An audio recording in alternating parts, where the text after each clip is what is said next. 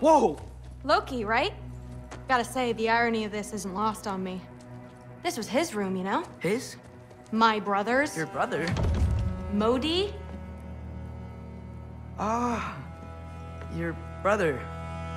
Really? I had no idea. Uh-huh. And now it's yours. Enjoy. Brudthor's Relax. You've got some pretty small shoes to fill.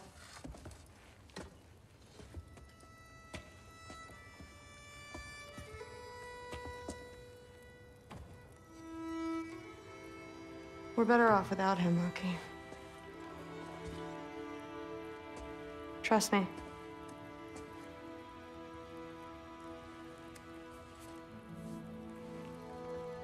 Walk with me. Uh, don't forget your sword.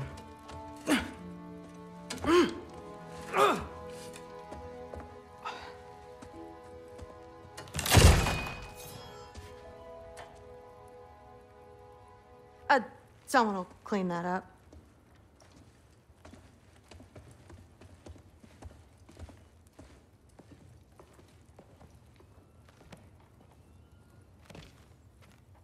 So, uh, what kind of sword is that? It's new. One of a kind. My father gave it to me for Valkyrie training. You're in Valkyrie training? Got time to talk about it? I was just heading to the Great Hall. But if you need to go to work, grandfather's study is just down those stairs. So how do you become a Valkyrie? First, I train till I'm the best I can be.